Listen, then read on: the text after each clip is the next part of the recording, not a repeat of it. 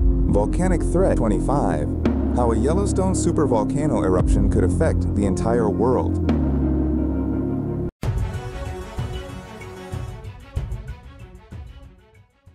The supervolcano might not be on the list of strange things found in Yellowstone National Park, but the sleeping giant could be a reason for concern. Nature's very own doomsday device, a supervolcano with enough explosive potential to make ordinary volcanoes look like science fair projects.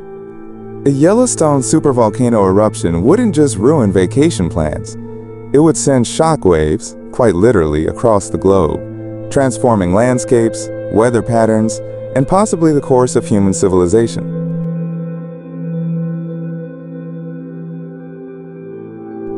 It would speed up the clock for animals that could soon become extinct, leading to one of our lifetime's most significant climate impacts. The good news. This geological time bomb isn't exactly on a hair trigger. Scientists monitoring Yellowstone's fiery underbelly consistently report that an eruption remains highly unlikely in anyone's lifetime. Still, exploring the what-ifs offers a fascinating glimpse into the Earth's raw power. But what would the actual impact be on people? Maybe it's time to take a closer look at what would happen if Yellowstone's supervolcano were to explode.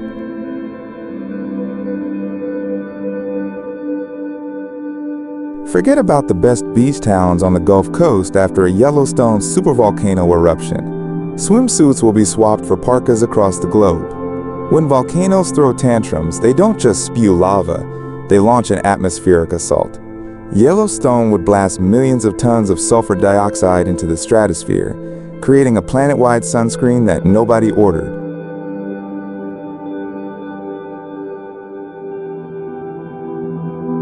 This minor weather hiccup like when smaller volcanoes erupt.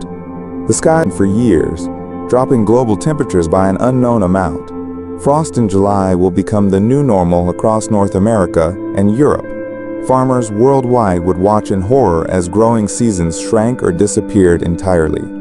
Grocery store shelves would gradually empty as crop failures cascaded across continents.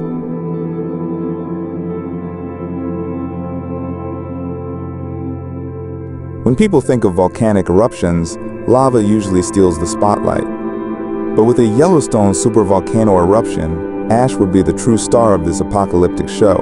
Picture the aftermath of a fireplace that hasn't been cleaned in 640,000 years and suddenly decided to blow its top.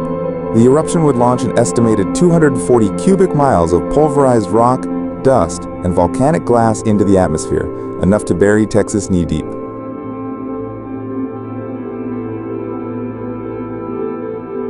Even areas a thousand miles away could see inches of accumulation. This wouldn't be the harmless dust that collects on bookshelves. Volcanic ash is essentially tiny shards of glass and rock that destroy engines, collapse roofs, contaminate water supplies, and cause serious respiratory problems. The most scenic mountain ranges in the U.S. would cease to be as scenic, covered in a deep pallor of ash.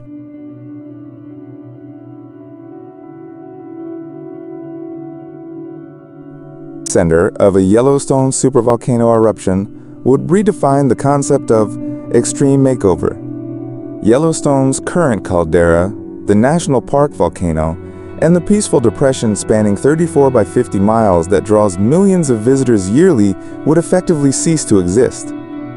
The blast would begin with a swarm of increasingly powerful earthquakes as magma forced its way upward.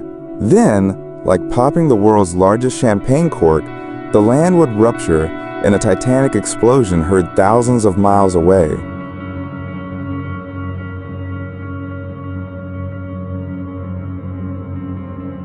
Pyroclastic flows, superheated currents of gas and volcanic matter moving at highway speeds, would obliterate everything within a 60-mile radius. These flows aren't just hot. They reach temperatures exceeding 1,500 degrees Fahrenheit, instantly vaporizing anything organic.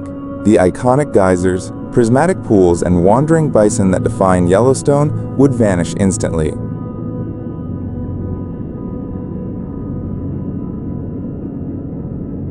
After a Yellowstone supervolcano eruption, those delayed flight notifications would take on a new meaning. Flight canceled due to apocalypse. the aviation industry worldwide would effectively shut down as fine ash particles spread through the atmosphere. Modern jet engines and volcanic ash mix about as well as oil and water, except with more explosions and mid-air engine failures.